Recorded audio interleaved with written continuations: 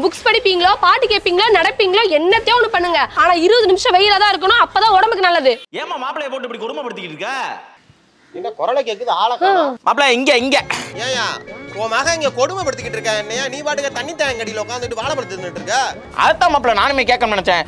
ஏமா அவன் வெயில் எதுன்னு தப்பிக்கிறதுக்காக கொடை பிடிக்கிறாங்க கிரீம் தடவுறாங்க தண்ணி டேங்க் அடியில் உட்காந்து சமாளிச்சுக்கிட்டு இருக்காங்க. நீ என்னமோ அந்த வெயில தள்ளி விட்டு அதான் உடம்புக்கு நல்லதுங்கிற. பா ஒரு ரூபாய் கூட செலவு பண்ணாம இயற்கையாவே சூரியன் இருந்து விட்டமின் டி கிடைக்குது. இது உடம்புக்கு ரொம்ப ரொம்ப நல்லது.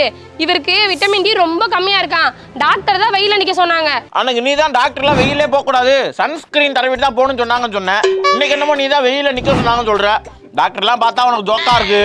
ஜோக்கெல்லாம் இல்ல உண்மைதான் சொல்றேன். சன்ஸ்கிரீனும் போடணும் சன்லைட்லயே நிக்கணும். இது ரெண்டத்தை பத்தி முழுசா சொல்றேன் கேட்டுக்கோங்க. அப்படி கேளியா? ஆ உனக்கு என்னையா? நீ வாடகை நல்லா உட்காந்துருக்க அடிக்கிற வெயிலுக்கு அதுக்கும். சொல்லுமா. ஏங்க இந்தியால மட்டும் எண்பது சதவீதம் பேத்துக்கு விட்டமின் டி ரொம்ப கம்மியா இருக்கான் இது மட்டும் கம்மியா இருந்துச்சுன்னு வச்சுக்கோங்க உடம்புலாம் ரொம்ப வலிக்கும் கைகாலாம் வலிக்கும் டயர்ட் ஆகும் முடி அதிகமா கொட்டும் உடம்புல நோய் எதிர்ப்பு சக்தியே இருக்காது. இந்த குழந்தைங்களுக்குலாம் கால் வளைஞ்சு ரிக்கட்ஸ்ன்ற பிரச்சனை வரும். பெரியவங்களுக்கு மூட்டு சம்பந்தமான எல்லா பிரச்சனையும் வர்றதுக்கு இதுதாங்க காரணம். ஏமா எனக்கு கம்மியா இருக்கிற இந்த விட்டமின் டியா இவ்வளவு பிரச்சனை ஏற்படுத்தும்? ஆமாங்க. இந்த விட்டமின் டி நம்ம உடம்புக்கு ரொம்ப ரொம்ப நல்லது. இது என்ன பண்ணும்னா நம்ம உடம்போட வளர்ச்சிதை மாற்றத்துக்கு இந்த விட்டமின் டி தாங்க முக்கியமே. இந்த கால்சியம்லாம் எலும்புக்கு ரொம்ப நல்லதுன்னு சொல்லுவாங்கல்ல. இந்த கால்சியமும் பாஸ்பரஸும் நம்ம எலும்புல போய் சேரணும்னா அது கண்டிப்பா இந்த விட்டமின் டி வேணுங்க. நோய் எதிர்ப்பு சக்தியை அதிகப்படுத்தும். ஓஹோ.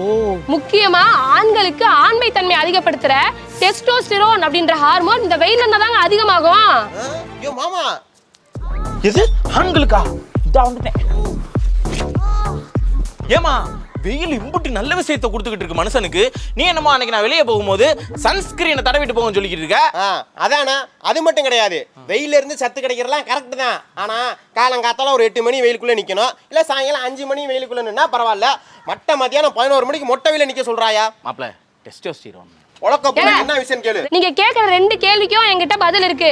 இப்ப விட்டமின் டி நம்மளுக்கு எப்படி கிடைக்குது? சூரியன் இருந்து யூவிபி ரேஸ் அப்படின்னு ஒன்று வருது. இது நம்ம உடம்புல ஒரு சில கொலஸ்ட்ராலா இருக்குமா? அதை அப்சர்வ் பண்ணி நம்மளுக்கு விட்டமின் டியா மாத்துது.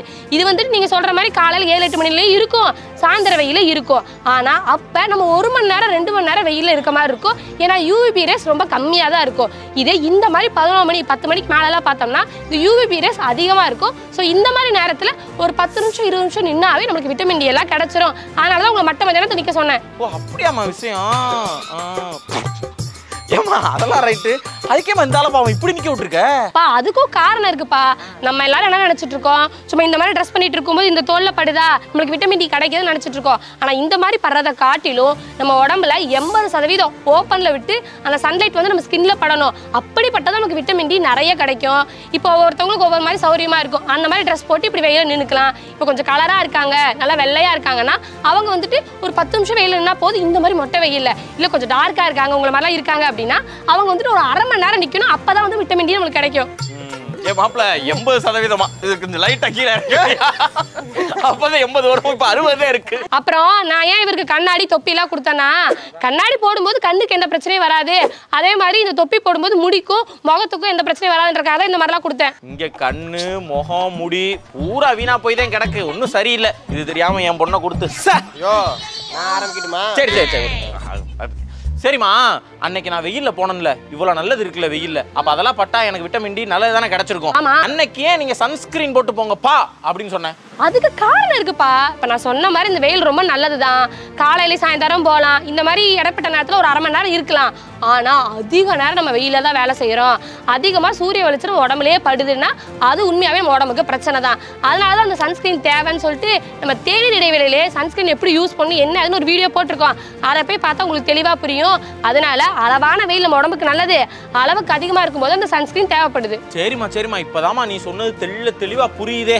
அப்போ இதுலேருந்து நம்ம என்ன தெரிஞ்சுக்கணும்? அதிகாலை வெயில் நல்லது மாலை வெயில் நல்லது ஒரு மதியானம் பதினோரு மணி பன்னெண்டு மணி போல வெயில் நம்ம உடம்புல பட்டாலும் ஐயையோ வெயில் அடிக்குதே தாங்களே முடிஞ்சு போச்சு அவ்வளவுதான் அப்படின்லாம் பயப்பட தேவையில்லை. அந்த நேரத்துல ஒரு இருபது நிமிஷம் இல்ல ஒரு அரை மணி நேரத்துக்கிட்ட பட்டோம்னா பிரச்சனை இல்லை விட்டமின் டி நமக்கு கிடைக்கும். அதுக்கு மேல இருந்தா கொஞ்சம் சிக்கல் அப்படிங்கிறது புரிய வருது. அதேதாப்பா உங்களுக்குலாம் தெரியாதா? சின்ன வயசுல நான் வெயிலே தான் விளையாடுவேன். தண்ணி தாமடிச்சா வீட்டுக்கே வருவேன். மாமா நான் மட்டும் என்ன? ஃபுல்லா கிரிக்கெட் தாயா? எங்க அம்மாலாம் சொல்லும் அடிக்கிற வெயில் ஃபுல்லா உன் உடம்புல தான்டா படுதுங்க உன் மேலதான் விழுகுது. ஆ, இப்படிலாம் சொன்னாங்க. ஆனா இன்னைக்கு இவருக்கு விட்டமின் டி டி கம்மியா இருக்கு. அதுக்காக காரணம் என்ன? சூரிய வெளிச்சமே படுறது இல்ல படுற வெளிச்சம்ல என்ன படுறது இந்த செல்போன் வெளிச்சம் இந்த ஸ்கிரீன் வெளிச்சம் லைட் வெளிச்சம் இதுதாப்பா படுது. எல்லாத்துக்குமே இப்படிதான் ஆகுது. முடிஞ்ச வரைக்கும் சின்ன பிள்ளைகள்ல இருந்து பெரியவங்க வரைக்கும் எல்லாருமே கிடைக்கும் போதெல்லாம் இந்த சூரிய வெளிச்சத்துக்கு ரொம்ப நல்லது. ஆமா ஆமா. அப்பப்ப சூரியனை பயன்படுத்திக்கணும். பாவம் அதுவும் வெள்ளனை வந்து உசுரை போட்டு வாங்குது. பாடா படுத்து இந்த சூரியன். தாங்க முடியல வர வர. தாங்க முடியல தாங்க முடியல. மிண்டி கிடைக்குது. நீ நில்லு. அம்மா விட்டமின் டி கிடைக்குதா? நல்லதான் நீ நில்லுப்பா. கம்மியா இருக்குல்ல? இப்போ பத்து நிமிஷம் தான் ஆயிருக்கும். நீங்க பத்து சொல்லுங்க வாங்க பாருங்க வாழைப்பழம் நம்ம தின்ட்டு. வாழைப்பழத்தை தின்ட்டு போயிட்டே நம்ம மாடியில போய் உட்காந்து தின்னு விளையாடுவோம் வாங்க. ஆ இங்கே போய் விளையாடு. டீ கிடைக்க நல்லதா? எரிவியா எரியட்டும் உனக்கெல்லாம் எரியணும்யா. அம்மா நீ வாமா நம்ம வாழைப்பழம் சாப்பிட்டு சூரியனை பொத்துக்கிட்டு போகலாண்டா